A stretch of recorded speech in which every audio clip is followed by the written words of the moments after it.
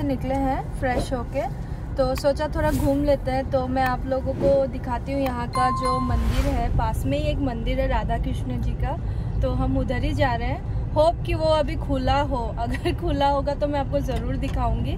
तो हम अभी वहीं जा रहे हैं मंदिर की तरफ़। तो गाइस अभी हम मंदिर के पास पहुँच चुके हैं और बहुत ही सही टाइम पे आए हैं। इधर मेला लगा हुआ है। रक्षाबंधन के टाइम पे इधर मेला लगता है। तो मैं आप लोग को दिखाती हूँ।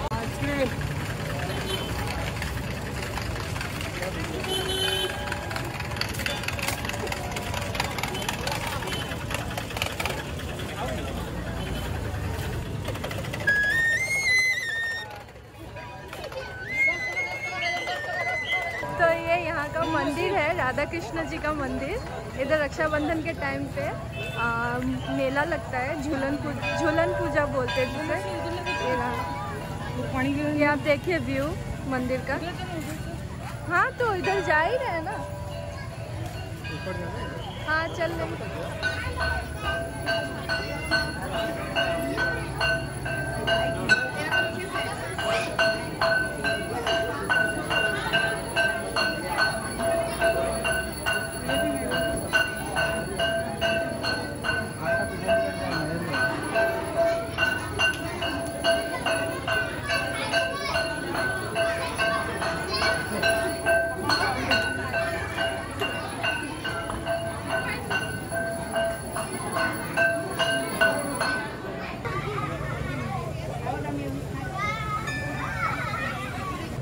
तो गाइस अभी हम लोग मंदिर में हैं और इधर बहुत ही ज़्यादा भीड़ है।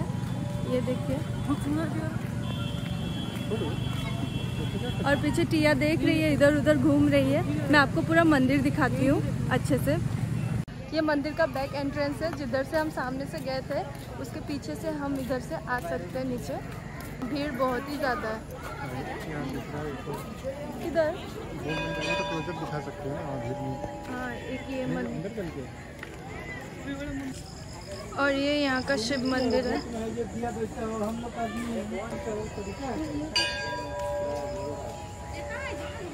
ये देखिए।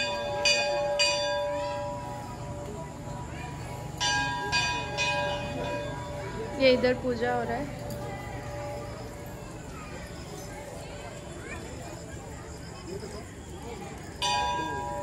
नंदी बेल।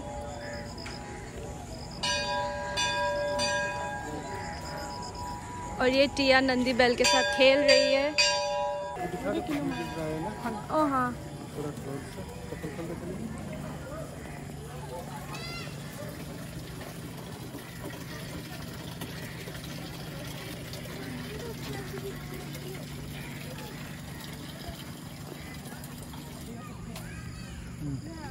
तो उस बोर्ड पे लिखा हुआ था कि दो सात 1978 में हाँ। तो दो बजे के आसपास हाँ। शंकर भगवान यहाँ प्रकट हुए थे। अच्छा। कुछ मिनटों के लिए। अच्छा। और चले गए थे। तो उस मेमोरियल पे वो छोटा सा मूर्ति बनाया गया जिसके सिर से गंगा अच्छा, पानी का मैंने नहीं पढ़ा।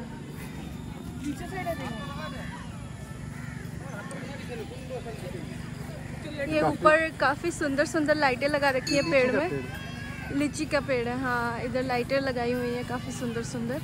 पता नहीं लीची का है कि नहीं हम लोग पता नहीं हाँ पता नहीं। देख के पत्ते देख के लग, लग रहा है लीची का। पेड़। इससे मिलवा दो आ कलो ये मेरा ये मेरा भांजा है। मनीष नाम है इसका। इसको हम लेके आए साथ में आज ब्लॉग बनाने के लिए। आज। का हमारा गाइड है। कुछ नहीं पता। ये किधर भी गणेश जी की मूर्ति है।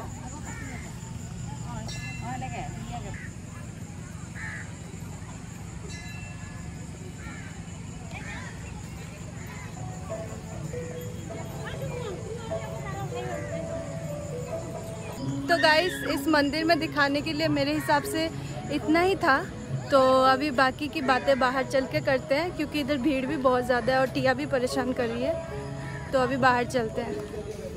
तो गाइस अभी इधर बहुत ही शोर है और मैं सोच रही हूँ कि टिया के लिए थोड़े बहुत खिलौने देख लूँ और इधर बहुत सारी दुकानें भी है खिलौने की। तो चलिए देखते हैं अभी टिया के लिए कुछ खिलौने।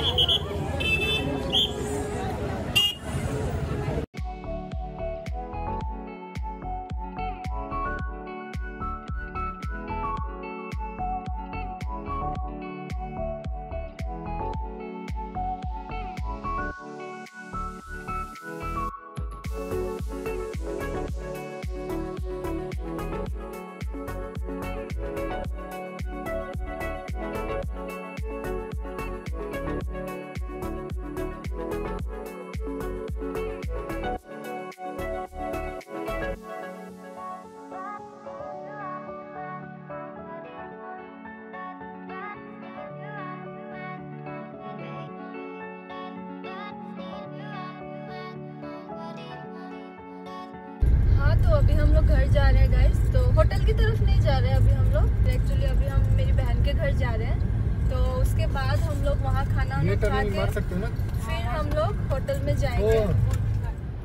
तो अभी हम लोग घूम के आ गए हैं. शाम को अभी गए थे घूमने. हम मेला वगैरह घूम के आए यहाँ पास का जो मंदिर है वहाँ मेला लगा हुआ था.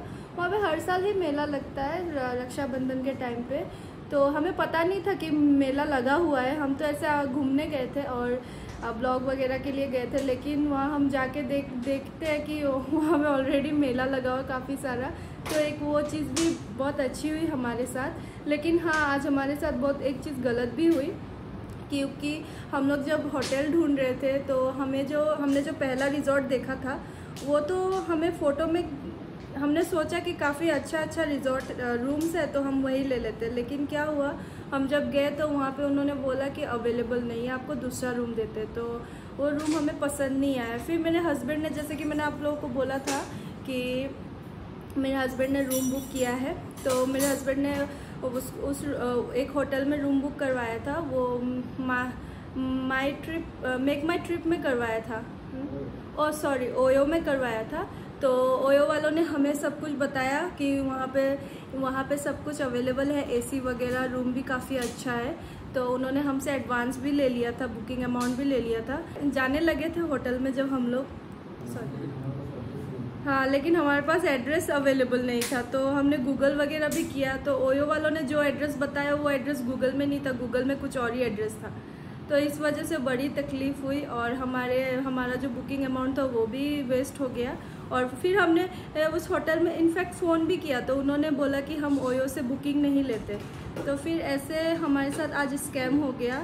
फिर बाद में अभी ओयो वालों को फ़ोन कर रहे हैं, लेकिन ओयो वालों, ओयो वाले कोई रिस्पॉन्स ही नहीं दे रहे हमें।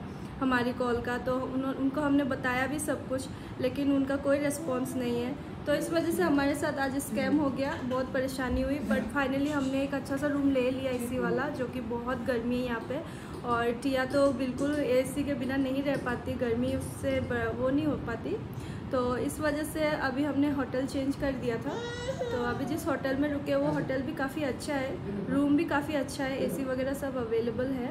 और कॉस्ट भी ज़्यादा नहीं है। तो अभी मैं बहुत ही ज़्यादा थक गई हूँ। टिया भी बहुत थक गई, उसको नींद आ रही है। तो अभी मैं जा रही हूँ खाना वगैरह खाने और उसके बाद थोड़ा रेस्ट करने। आज का ब्लॉग मैं यहीं ख़त्म करती हूँ। कल के लिए भी कुछ प्लान सोचे हैं। रुको ना बेटा, कल के लिए भी कुछ प्लान सोचे हैं हमने। तो आगे वो भी देखते हैं करेंगे। तो आपके आपके साथ ज़रूर शेयर करेंगे। तो अगर आज का वीडियो आपको अच्छा लगा तो प्लीज़ उसे लाइक शेयर और सब्सक्राइब ज़रूर करना। और मिलते हैं फिर तब तक नेक्स्ट ब्लॉग में। तब तक के लिए बाय बाय